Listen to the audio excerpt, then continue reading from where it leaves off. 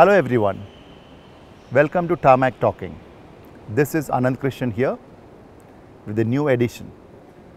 This time we have with us Air Marshal S.R.K. Nair, AOC-in-C Training Command, Indian Air Force.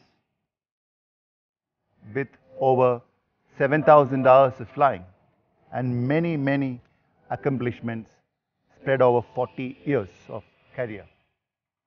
Air Marshal S.R.K. Nair is also remembered as a man, the only man, the only Indian, the only pilot who has done a transpolar mission and also a circumnavigation. In the next couple of weeks, Air Marshal S.R.K. Nair is landing his inspiring flight after serving the nation.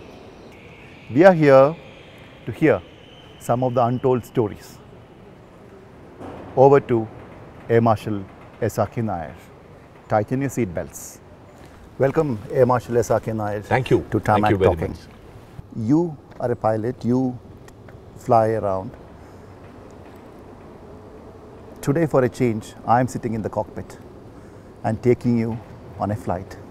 And here we go, taking off. We're heading towards Trivandrum. Your school, Okay. Loyola School. Yeah. Can you share with us your inspiring memories of school? I understand, you know, uh, you are a very popular figure in the school, very, very popular part of NCC.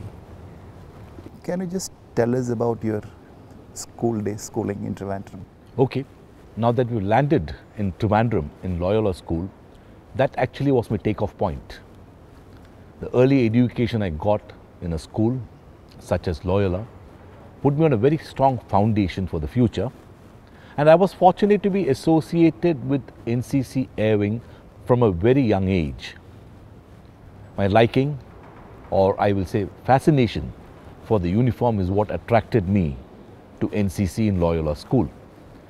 And thereafter, I never looked back. Opportunities came my way. I made use of all opportunities. Practically all NCC camps I could attend, I attended, aero modeling camps, and uh, I graduated from school into college. Mar Ivanios for a very short while. Continued in NCC. I got a scholarship for flying through NCC, and I started my flying career in Kerala Flying Club at Trivandrum. But soon after, I got selected for the National Defence Academy. So I had a break in flying and I went on for military training to National Defence Academy. Before we get into NDA, let me just hover around your school for some more time. Yeah. Uh, I understand you were so passionate about NCC. Uh, uh, I happened to speak to uh, many of your schoolmates, and they all said they used to call you Radha. That's correct. That's yeah, correct, so yeah. they said you know Radha was very passionate, and in fact uh, you were the under officer, Yes, that is correct. and you inspired many of your friends to join NCC. Uh, can you just tell us about those days when you were very active in aero modeling? How inspiring in the sense all those early days i'm sure you know you would have set your goal that you will have to get into air force one day uh, what were those early days of aero modeling and plane making and uh, who really inspired you Inspiration were my seniors who were in the NCC and the instructors who were in the NCC. Once I joined the NCC, I found that the uniform is something that fascinates me. There is a regimen in life. There's a way you go about things very systematically. And I felt that is a nice way to go ahead in life. And I wanted my friends, who were very close to me, Uh, to follow me and join the NCC. Many did so, though not very willingly. But they did try the hand to this way of life. And when it came to aero modeling, anything that flies is fascinating. So I was fascinated and I tried to draw in as many friends as possible into the NCC and aero modeling. Some, of course, did, and some did join the Air Force too. So it was early in my life that I found this fascination for the uniform and flying, and I have been able to motivate a few of them. Trivandrum to me was Paris. You know, I loved traveling from my village Okay. on vacations and you know come there big dream big city one of your friends said that you know all of you used to cycle together and so what were those discussions it was all about career you know it was all about you know getting into the into the air force Those cycling moments are moments I would like to reflect upon at this age when I am now superannuating. This is the time I'd like to reflect upon the early days when we found cycling the best mode of movement. Trivandrum, you know, is a small place and we all used to live around uh, within about three to four kilometers radius. So we used to meet at a common place in the evening and discuss the present, the past, the future, dreams, ambitions of people. Most wanted to become engineers. Most wanted to become engineers. those days of uh, days without mobile so you know you had a lot of time to talk about your dreams isn't it Oh, yes. no distractions Yes, life went on very smoothly without mobiles. We had more time to speak to each other in person and interact in person. Another interesting aspect when I talked to a couple of your family members came to know was yours was a very big family and the bonding uh, you know was huge Yes. and uh, you know I was very surprised to know that all of you at any given point of time used to travel together and they told me about this Matador van yes, yes, indeed, we have. we had, yeah. The entire family members, be it going for a film or going for a function, everybody used to get into this matador. Yeah. And then even some hospital visits, I am told, it you people, your family made it a point. Everybody used to go in this matador. Yeah. So it was, you know, It was a very close knit family. Uh, my father, of course, uh, was a father figure, and he always wanted the family be together. And as the family became bigger, the vehicles also became bigger. That is how we graduated to a matador, so that all of us could travel together, visit friends, visit relations. And another very peculiar thing was anybody's friend in the family was everybody's friend. So any problem or any celebrations, we all went together. Is the matador still there? No, it is no longer there, but we still have photographs and fond memories of the matador. Air Marshal Nair, you loved films, uh, you know, and war movies. Your friends, your classmates, you uh, have told me that you made it a point to watch all the war movies. Sometimes take your, you know, your friends along, buy the tickets, and you ensure that even they watched along with it. Yeah, that's true. Did those great war movies influence the little Radha to Very much, it did. Guns of Navarone, Bridge over the River Kwai, to name a few. Uh, with whatever little pocket money I could save, I managed to see uh, some of these war movies. Not many came to theatres in Trivandrum. And some of my friends did come along to watch these movies, and it definitely has an influence on you. The, the leadership you see in the iconic leaders of those years, and they were all picturized so well, they definitely had an influence on me. you are being talked about as a young leader, right from your school, college, all that. And now you spoke about leadership. How much of leadership skills you fine tuned when you entered NDA? leadership to a certain extent is there in you is there in every human being but how you develop that quality of leadership depends on you. Like when i was in the ncc it did not take much time for me to be recognized as a person with initiative willing to do things and responsible. This is what my uh, instructors told me. So I, I rose up to be a leader uh, right in the very uh, young school days, and I used to be troop leader, as we used to be called those days. Then, of course, when I went to NDA, the initial uh, few terms, that's almost a year, was a rude shock, and it took a lot of time to recover, because with no strong service background, I went to a place where a lot of unexpected things happened. I found the going very, very tough in the first two years. And I was, I will confess, at the rock bottom of my course. Whether it is outdoors, whether it's academics, whether it's drill. But then after one year, once I got to the environment, which several others had come from Sainik schools and from RIMC and so on, after the first year, I found that I am on very firm ground. So, did you at any point of time feel that, let me give up? Yes, not once, not twice, on many occasions.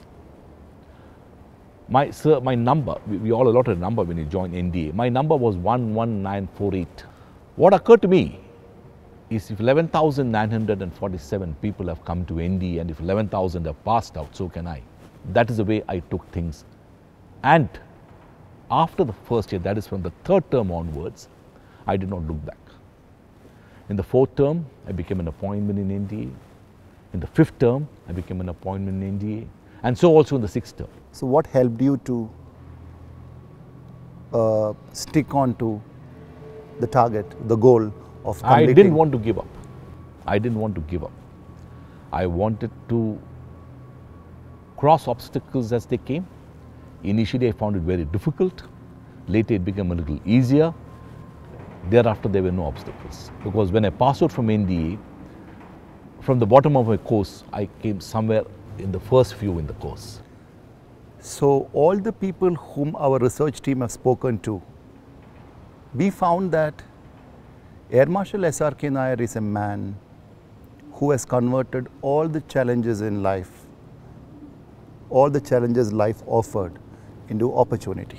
Yes. So, that particular script of challenges into opportunities, probably I am very sure NDA played a big role. very big role. It teaches you how, if you are determined, you can achieve what you think is actually impossible. There are very few things impossible for a human being to achieve if he has the resources. And that is one place where you build your, up your tenacity, you know, your ability to overcome obstacles. You're young, your mind is young, your body is young, you're physically very fit. So that is where you come to know that what seems an obstacle at first glance can easily be crossed. Successfully passed out from NDA, Yep. Air Force, Yes. those initial days. So, where were you posted first? Could you just? Yeah, after my training in uh, Air Force Station Bidar, Air Force Academy, and thereafter here in Air Force Station Yelahanka, I was posted to the northeast, to the far east. I was posted to a place called Chabua, where we have a Air Force station, a very large Air Force station now. And we used to fly to the hills in the northeast. And uh, those are memories which will live with me forever.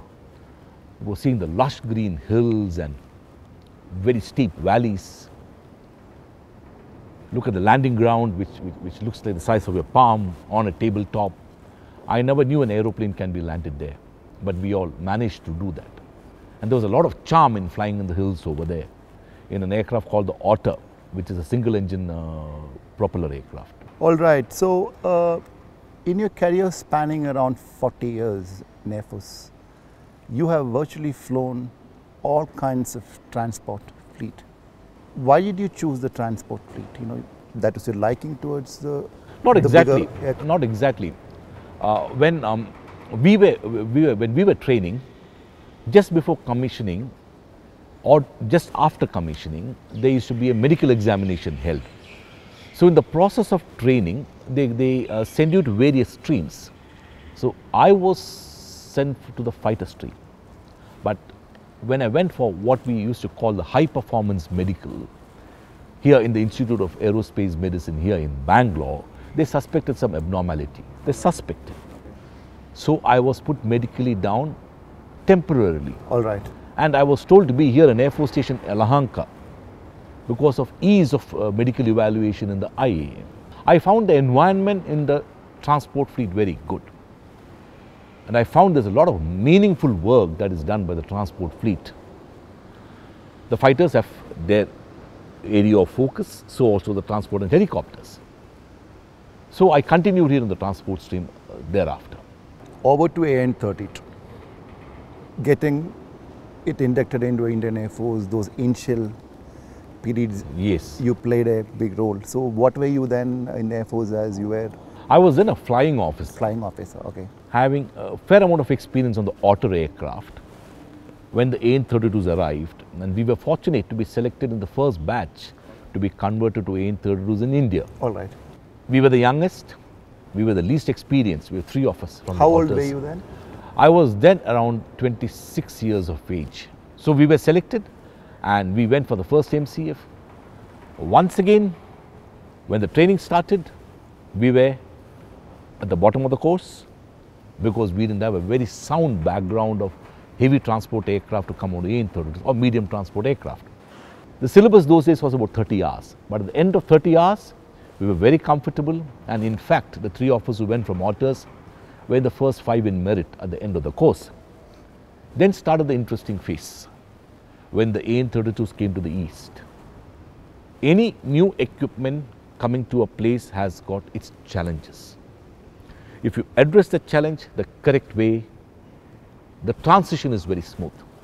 From otters, Dakotas, and caribous to AN 32s, because of speed and weight of the aircraft, it was a challenge. But the challenge was taken on in a very, very efficient manner by my seniors who were there to guide us, and it was a very smooth transition to AN 32s operating in the Northeast. So, what were the challenges in the sense, you know, at least if you could just tell us one or two? A typical challenge in the Northeast is narrow valleys, sharp turns, bends, extremely short runways, unpredictable weather. All these factors I told you does not go well with flying. It does not go well with flying at all if you're flying an aircraft which is a little faster than what we're traditionally operating them. These were the challenges. AN32s continue to be the lifeline. I was at AFS Sulur recently, and you know I saw, uh, I met a couple of pilots. They still fly uh, in very difficult conditions. Yes, you know, yes. ma- many occasions pushing the this mission to the limits. Uh, so it is still doing a great service to Indian Air Force, isn't it? It indeed is. It's a workhorse of the Indian Air Force even today. Despite its age, brought in in 1984, we are in 2018, but it does a fair share of uh, work for the Indian Air Force. If I ask you one question about among all the platforms you've flown, what is that one favorite machine of uh, Air Marshal Nair? It's a very difficult question to answer. I will put it this way. The most charming aeroplane to fly was the Otter. So also the most difficult. The AN-32 was an aircraft you could take anywhere, anytime and do meaningful work. The IL-76 is a huge aircraft. It cannot go to all places, but does very, very meaningful work for the Air Force and the country. So each has got its area of operation. If you ask me favorite, I think all three have their special place in my heart. I would now want to take you to something you hid from your family, a mission that now you're famous for, the only man in Indian Air Force, the only Indian pilot to have done it, uh, the transpolar and circumnavigation. Cope Thunder, Yeah. 9 hours and 40 minutes. Uh, that was in uh, 2003. 2003 in the month of June. So, take us through first the preparations. Okay. The Indian Air Force was invited to participate in exercise, uh, what they call the Cooperative Cope Thunder in USA, uh, in Alaska. And the Indian Air Force decided to send the IL-76 and I was chosen to be the captain of that um, aircraft which went there. So we had a pre-exercise meeting at Alaska, which was in the month of March. And I vividly remember the sun never rose at that time, for the time of the year. It was bitterly cold. And after the exercise briefing got over, since we had about three, four hours time for the flight uh, out of um, the airfield close to us, close to Eielson Air Force Base, the liaison officer who had come from Hawaii told me we will go for a drive and we will go and see the hot springs which is close by and by the time we come back it will be time for the flight. And so on the way back we stopped at a kiosk to have a cup of coffee. It was dark. It was around 8 p.m. When we were having coffee, I saw the aurora borealis, the northern lights, the sea of colors in the sky. Beautiful, isn't it? Beautiful. Uh, words cannot describe it. I'd only seen photographs in textbooks when I was in school, in Loyola School. So that is what got me thinking. So this is from the North Pole or close to the North Pole. So I did a quick check of the latitude we were in. That is when the idea struck that the North Pole is not too far. So when I came back to India, I mooted this idea to air headquarters that no aircraft from India has been to the North Pole. And if I am permitted, I would like an attempt to go to the North Pole and back, establish transpolar capability for the Indian Air Force and for the country. That is the origin. The Aurora Borealis, the Northern Lights, that is, that is where the, the thinking started. So we had almost about two and a half to three months for the exercise. So I got my team together and we started the planning process. It was planning for something actually unknown. So the Air Force agreed it readily. Air Force did not agree right away. They had their concerns. They had their concerns. That is because of you know nobody has done it. Nobody has done it. And when I mooted the idea, it was only an idea. All right. So I was told to come back with a plan. So I went back with the plan to air headquarters just before leaving for USA. And they told me, the Chief of Air Staff, then Air Chief Marshal Krishnaswamy told me, looks good. If you are comfortable, go ahead. There is no pressing requirement, but if you establish transpolar capability, it's good for the Indian Air Force. It's another capability of the Indian Air Force. So with this as a motivator for us, we left for the USA.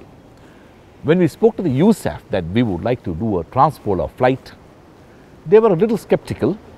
So they called a navigator from Hawaii who specialized in North Pole flights. And we sat across the table.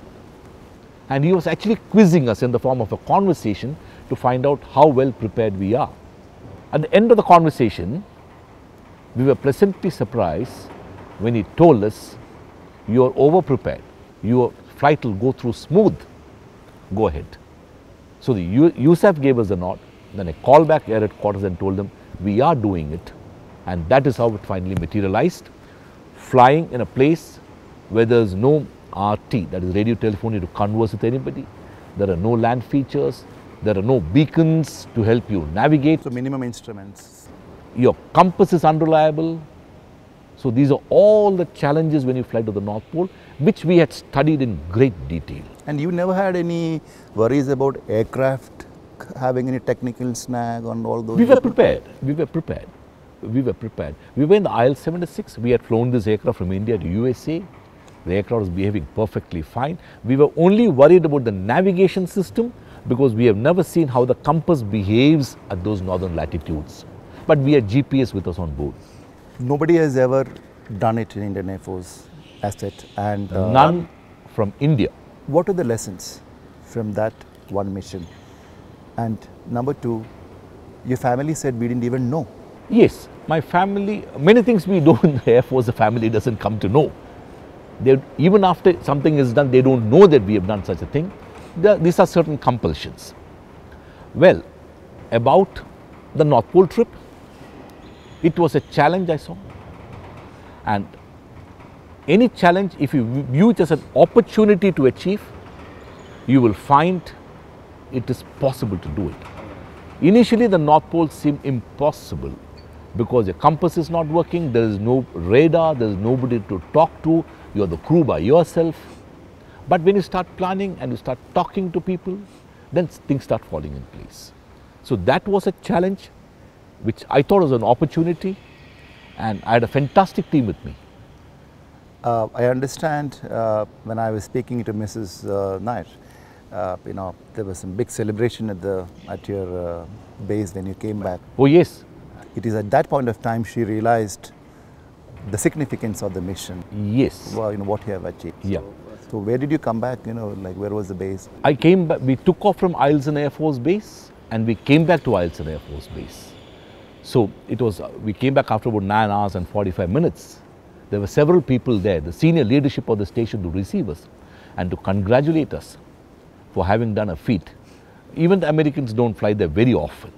So they were very impressed that we could do it and um, they said it was really inspiring to see an Indian Air Force aircraft go to the North Pole and back from one of our Air Force stations. What did uh, Chief Marshal Krishnaswamy say? He said to me over telephone that it is a job well done. We're proud of you all. You made the Indian Air Force proud. And the very year, on October 8th, during the Air Force Day celebrations, he declared that the Indian Air Force has now established transpolar capability. So uh, that was a great moment for you in your life. Very, very satisfying moment. And after that, Air Force never thought of any similar missions or you uh, you're aware of anything like that? No, we have not done a transpolar flight after that. Here, what I would like to mention is we have done a transpolar flight. We have chronicled how to go about it, what to expect, the unexpected to happen, what are the emergency measures to be undertaken if something goes wrong, what are the instruments which are totally unreliable, what are gadgets like the GPS you need to have on board. So now everything is started down, there's a standard operating procedure. Should you need to do it, you can always read and follow what is written. From this inspiring mission, let's hit to 2013. You're landing at DBO.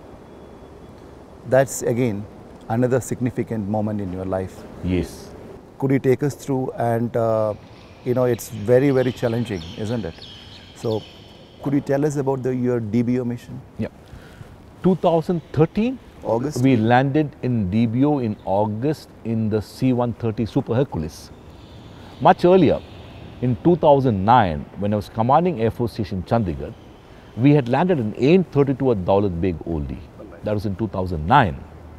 I was commanding Air Force Station Chandigarh, and when you fly in that area, you realize the kind of difficulties the local population, as also the army deployed there have. Daulat Beg Oldie is a place from where it takes weeks to walk down to civilization. There's a medical emergency, nothing can be done. It is at 16,600 feet, the highest airstrip in the world and not a prepared airstrip. It is not black topped, it is just compressed ground. So, a lot of us got thinking, I mean, why not establish a capability to land at Daulat Beg Oldie? Should there be a requirement, military or otherwise? It's another capability we established. It took a long time to plan, but we made it possible in the AN-32. With this as the background, when I came back to air headquarters and we inducted the Super Hercules, an idea came to the mind of some of my colleagues. Why not land the C-130? All right. So now we plan for the C-130 with C1 uh, with the AN-32 planning already in place. And since I was directly involved in the planning, this planning was a little easier and so also the execution. So on AN-32, I have landed and taken off from DBO and on the C-130, I was on board when the aircraft landed for the first time. Uh, what are the challenges of landing at high altitude airstrips? If you could just, especially when you take these uh, massive transporters.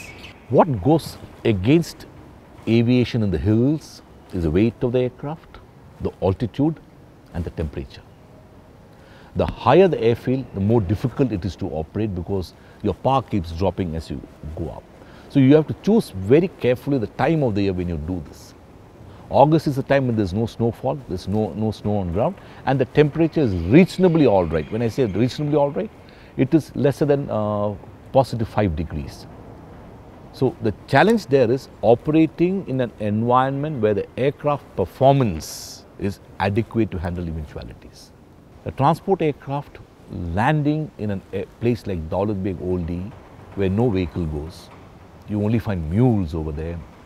First of all, is very, very inspiring for our army people posted there and also the locals that help is at hand.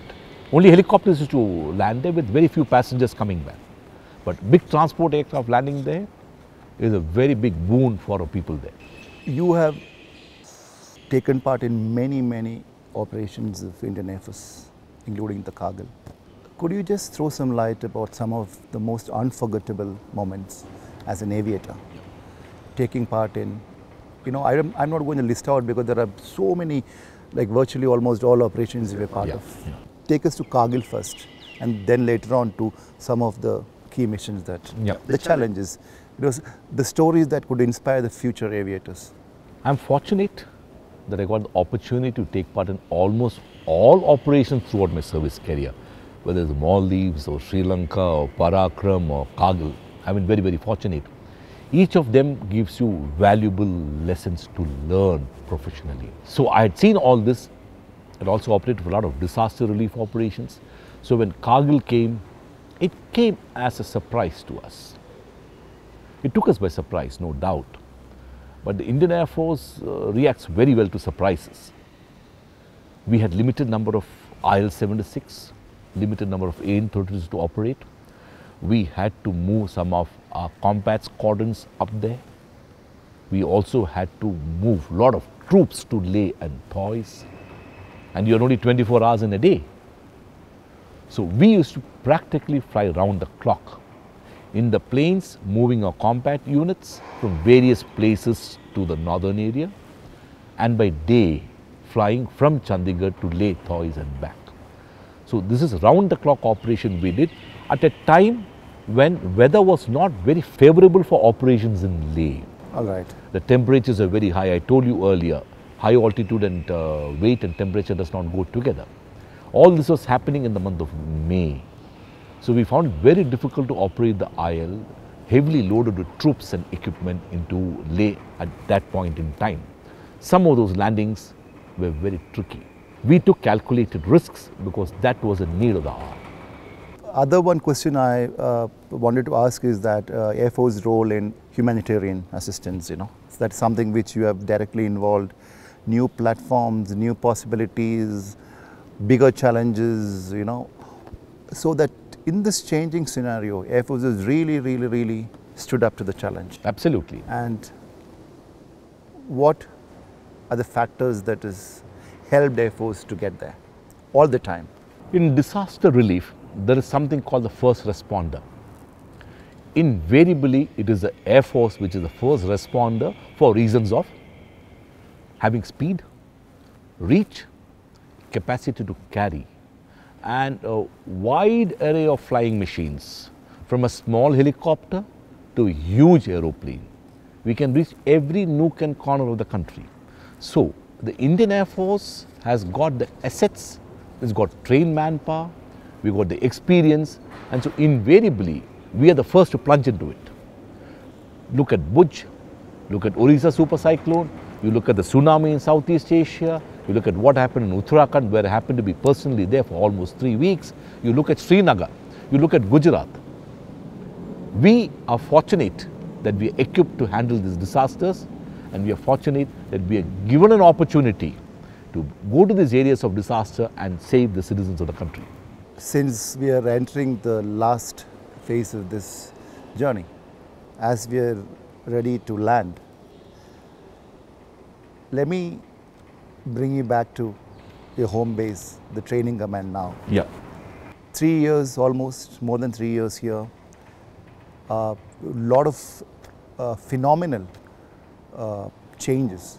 Uh, Air Force, uh, you know, as part of its modernization, Yes. has brought in, and majority of it has also got into the training patterns. Uh, be it here, be the AFA Hyderabad, all that. What are the key contributions you were able to pilot being the training command head in terms of training the future air warriors? If you could just list out those. Like you rightly said, training is most important and training command is the gateway to the Indian Air Force. What we train in training command is what the Air Force has for the next two to three decades. I'm talking of the uh, human resource. So we play a very, very important role for the future of the Indian Air Force. And if you've noticed what the Air Force has gone through in the last about a decade, we have seen technology being inducted in a big way. An unprecedented rate of technological improvements in the Air Force, new systems, new platforms, very, very advanced. So, we have to put our, especially our airmen, through a training curriculum to handle this very technologically advanced equipment. So, that was our frame of mind that we have to improve the training and shift gears to make these men be prepared to operate very, very advanced weapons. That is the biggest challenge. So we did some tweaking of our training curriculum and uh, we exposed them to certain kind of training so that at the end of the training, they can handle this equipment.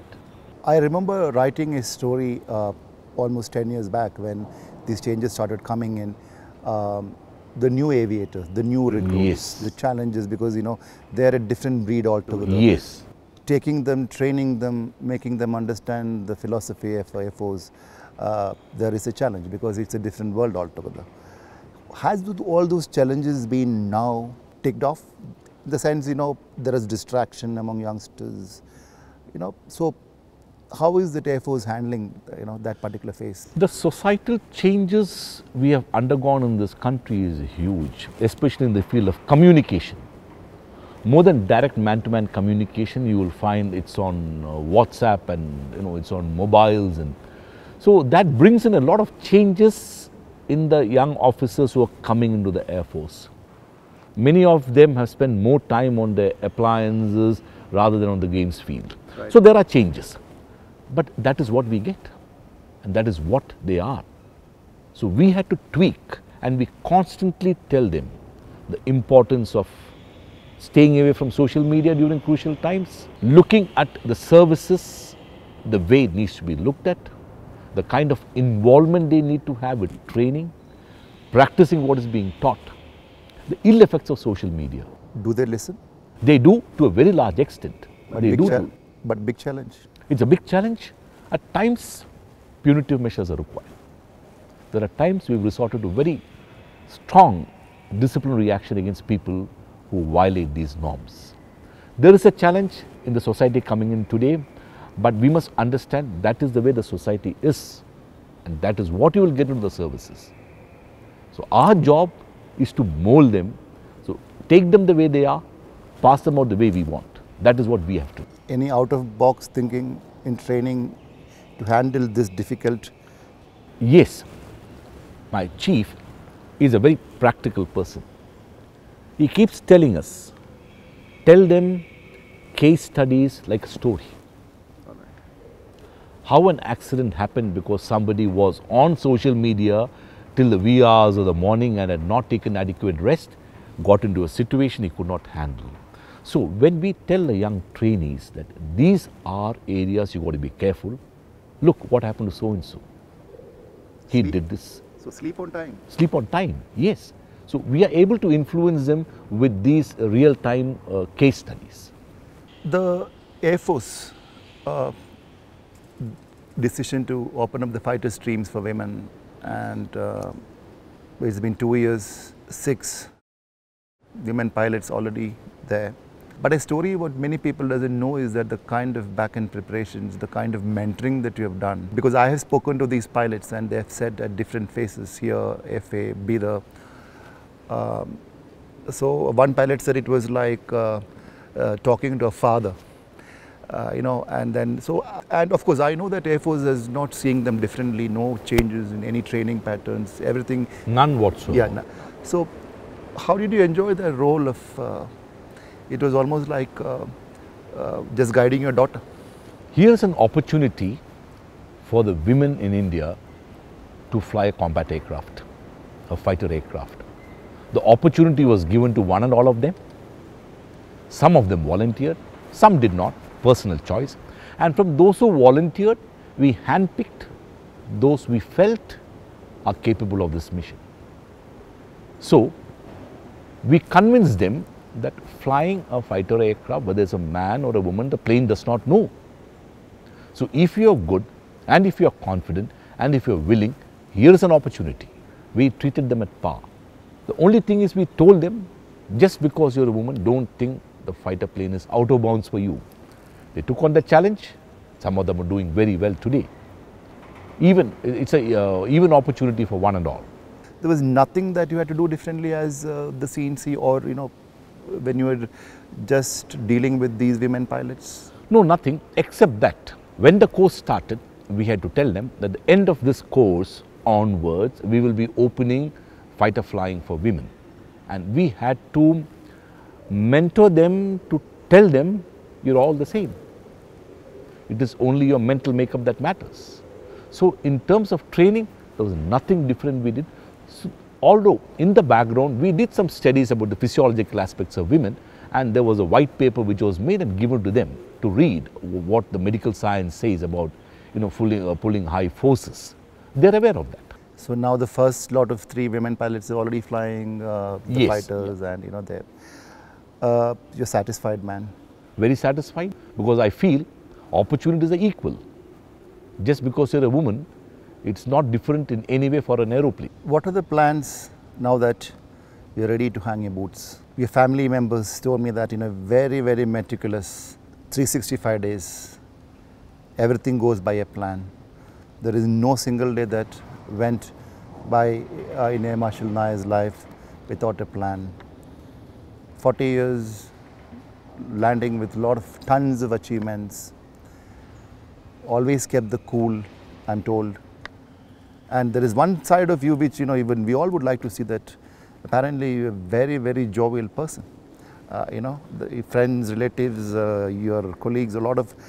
So we found that you have written scripts for dramas in school, School, in your school, school, yeah, yeah. and also for your unit, some, you know, some events.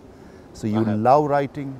We are going to be challenged, we journalists, with your writing post-retirement. No, no, A lot not of people at all, do not that. at all. No. Because a lot of air marshals do write. I know, I know. Yeah. I know. I have no intention of taking to writing in, in, in professional field or any other field. I would like to catch up on a lot of things I missed in the last about maybe about 10 to 12 years. You get busy as you become senior, catch up with friends, spend time with your classmates, your course mates with whom you have not been able to spend time, relive the memories of the old days and laugh when you can. In one of your speeches, what you uh, gave, uh, which you know I was there, so you, uh, I could get a sense of feeling that operationalization of DBO is probably one of your biggest pin-up moment in your life. Yeah. Is it right? It indeed is. Though I can't say that is the only one. Even uh, operating to the North Pole Yeah, the transport was a challenge. Yes. It was indeed a challenge. DBO and operating to North Pole were two major challenges I took on, which went off well. So back to your favorite two words: opportunities, challenges, challenges, opportunities. In every challenge, there's an opportunity. If you see the opportunity, don't let it go past you. Grab the opportunity and you will overcome the challenge. Is that your message to youngsters who would want to get into Air Force? Youngsters who have already got into Air Force and you know building a career. all youngsters, whether getting into the Air Force or otherwise, I will tell them there are opportunities that come your way. If you are smart, you will see the opportunity and you will make the best of the opportunity, whether joining the Air Force or otherwise. Thank you so much, uh, Air Marshal SRK Nair. Th- thank you, thank you very much. Thank you. I've been, I've been seeing that um, you're very fond of talking to people and asking questions that inspire the younger generation. I think that's a very good way forward for our entire nation. You've done a lot of yeoman service. I'm sure you'll continue to do this to inspire the youngsters. That's my assignment, and now we have a team backing up. And thanks for all the opportunities you two gave. Uh, it was a great learning, uh, you being around. And this is uh, a small um, token of our love. Uh, you know, we have just started this series, Tarmak Talking. Yeah. Um, I'm sure uh, this cup, uh, you know, as you get on to the next role in life, this cup should inspire you. This is from all of us. Thank you. Thank you very Yeah. much. Thoughtful. Yeah. Now that we are in Air Force Station Yelahanka, which is the host base for Aero India, may I present you a book on Aero India, which we compiled last year. all right. Okay. Thank you so much. Yeah. And Tejas, yep. My pet bird. Thank you once again.